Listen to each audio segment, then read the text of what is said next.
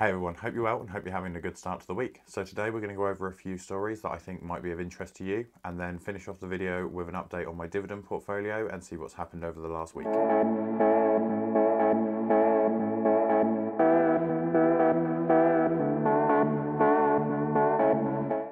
Thanks for sticking around and my name's Ben. So the first story we're going to jump into isn't particularly about one specific company or another. It's more of a reminder about Rishi Sunak publishing the UK government's 2021 budget coming out on Wednesday the 3rd of March. It's kind of hard to say what's going to happen. There's been a lot of rumours flying around, but obviously nothing's confirmed until they actually publish it on Wednesday. We have heard that allegedly the government will be releasing a new style of bond, and this will be a greener future style bond. The idea being that the public can invest into this particular bond, knowing that the funds will go to reducing net emissions to around zero in the future. Moving over to the potential tax changes that are suspected to be coming through this, we're not sure what is happening, as I said, until it's published, and I will aim to post a link down in the descriptions or the comments below that will link you to it once it is published, so remember to check that out. Despite this, there is one thing that non-pay workers have been advised to keep an eye out, and that is the potential crease on national insurance contributions for the self-employed, and this may also bring in additional measures for company directors for their employees. As I said, we don't know what is actually confirmed until the budget's released on Wednesday. I might do a video based around what the changes are and the potential impacts it might have on you. If you're interested in that sort of video, please comment below and let me know and we'll move over to the second story now. So jumping over to the first company update, we have a story from Allergan and AbbVie who have submitted a application for drug approval for an eye drop that will treat presbyopia. And presbyopia is essentially a condition that reduces your eye's ability to focus on near objects, so nearsighted. The issue here is it's a general thing that onsets with age, it's why a lot of older people tend to have to wear glasses as they get older. If this drug is approved and does tend to work, it would be the first eye drop on the market that treats this particular condition or reduces the potentiality of it occurring as you get older. And a lot of the public, to my understanding, seem to be quite cautious about how they look and might not want glasses. So I can feel that this would be a good stream to tap into while also maintaining eye health in general. According to a study undertaken on around 750 individuals, it showed statistical significant improvement in near vision in low light conditions.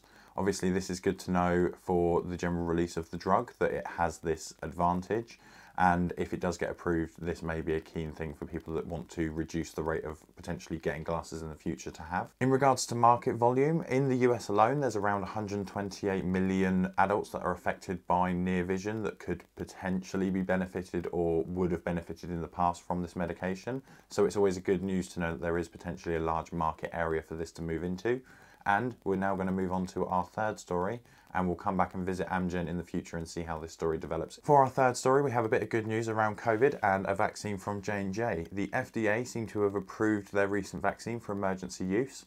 This makes it the third vaccine available in the US for treatment of COVID and the prevention of its spread. The J&J vaccine is a one-dose vaccine and I believe it's more the traditional method of dead cell vaccines along those lines rather than the new RNA technique used by some of the other companies that have already released the vaccine in the US and UK. This new approval should help Joe Biden, who's made promises that every American will have a vaccine available by the end of July and he'll be rolling this out as quickly as J&J can produce it. The new vaccine from J&J has been found to be around 72% effective, but only around 57% effective for the South African version of the virus. However, with deaths in around half a million and over 28 million people infected in the US with COVID, I'm sure that this is a keen thing to have rolled out as soon as possible, at least to reduce the spread and the harm that COVID is having on the population. And finally, we're going to jump over to a story from Main Street Capital, who have recently posted their Q4 earnings for the last year,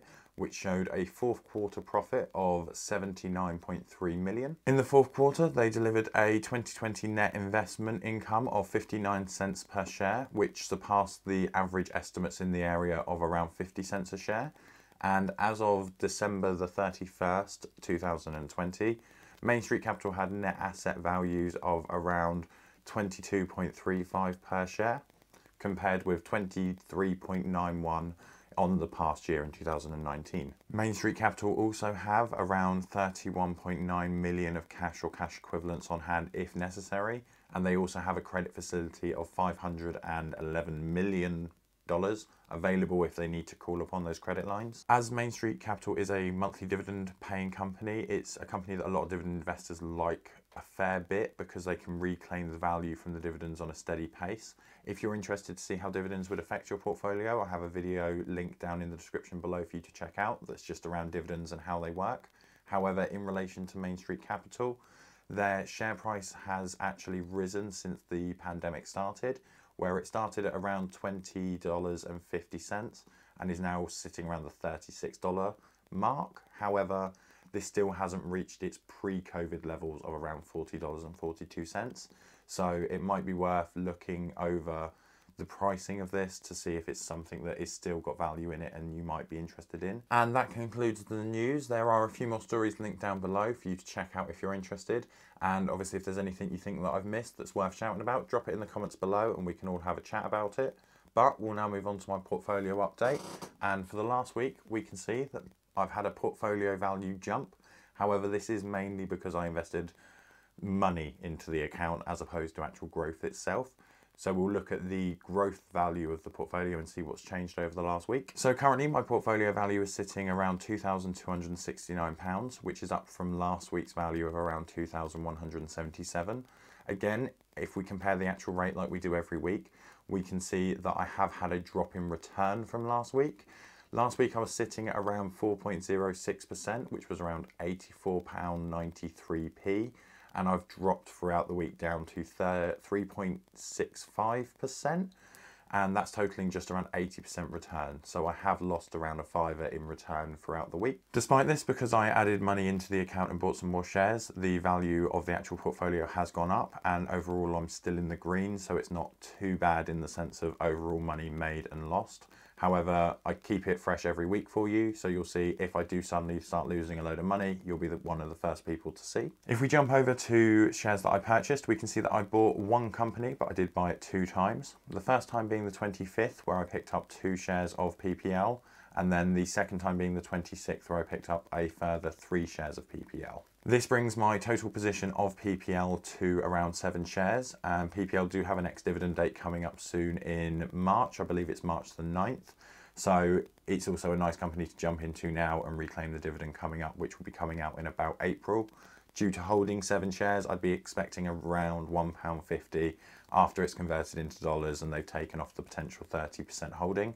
So it's a nice £1.50 to expect in April. So moving swiftly over to the dividends and having a look, there was a bit more activity in the dividend side of my portfolio last week. We did actually have four companies coming in and paying on the 23rd. This was starting with AbbVie paying 24p for the 0.3 of a share that I hold of theirs, followed by Hormel Food, who paid out 6p for the 0.4 of a share that I hold of theirs. Then we had the lovely monthly dividend investing company, which was Realty Income, which paid a nice 42p for the three shares that I hold. And then rounding off the day, we had Omega Healthcare Investors. They paid out £1.21 for the three shares that I hold. Then finishing off the dividends for the week, on the 24th, we had Stag Industrials, who paid out a nice 29p for the four shares that I currently hold. So to total out all of the dividends throughout last week, pulled in around £2.50, so not a bad week for just holding stocks that overall have made me money. Like most of the time, in regards to sales, there's nothing really to say. I've got a couple of more recovery stocks that are still growing and I'm potentially going to hold them a little bit longer before I start recouping some value from them but I will let you know when I do start to sell those stocks. If we jump over to what companies have given me the best deal in the sense of what's got the highest return in my portfolio, that would be winning this is ITV, who currently hold a 78% profit margin on my investment with them. However, this is being swiftly followed by Royal Mail, who are currently only at 65% profit. But if we turn the page and look over to the worst performing assets that I've got in my portfolio, this would be Dominion Energy, who are sitting at minus 20%, followed quickly by AT&T, who are down 18.5% in my portfolio since purchase. So kind of counterbalancing each other. However, it is nice to see that ITV, which I kind of bought as a recovery play, has grown so much. And I'm looking into it to see if it's a company that should be held more of a long-term holding rather than a recovery play with the intention to grow money back from it but I'll decide that once they decide if they're going to start paying a dividend or not. And that concludes the portfolio value change for the week. I am planning to do my full monthly update and go a bit more in depth on my portfolio changes and the sort of impacts these purchases and sales and dividends have made to my portfolio overall. So remember to subscribe to keep up to date with that. And if there's anything you do want me to include in that actual video, please comment below so I can make sure to do that as I'm making it shortly. And if there's anything you think you want to see in these mini updates as well, please comment down below and I can start to include them. At the moment, I am just doing the general growth main changes in the portfolio. However, if you'd rather me go into more in-depth analysis with certain areas, please let me know. If you are interested in seeing what's happened in the past with my portfolio, I do these weekly updates every single week and I have added a link to the playlist in the description down below, so feel free to check that out. However, most importantly, please remember to invest, save and subscribe and I'll see you next week.